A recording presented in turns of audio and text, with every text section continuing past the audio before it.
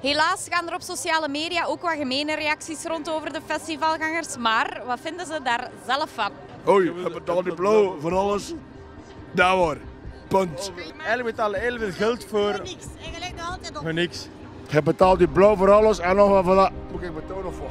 Het lijkt wel of Werchter met de jaren onnozeler wordt. Het is niet meer voor volwassenen, voor klein mannen. Kwaliteit van de muziek is weg.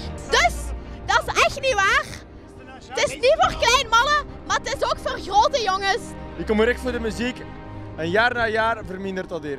Weg, dat is wel waar. Deze jaar is het echt dikke meuk, hè. De line-up valt deze jaar vet tegen. Veel mensen zitten of staan tegenwoordig een gans concert naar hun smartphone te kijken.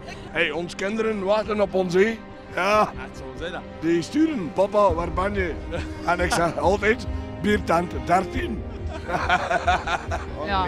Verkleutering van de jeugd zet zich nu ook voort op de wei. Enorm. Nee. Enorm. Love!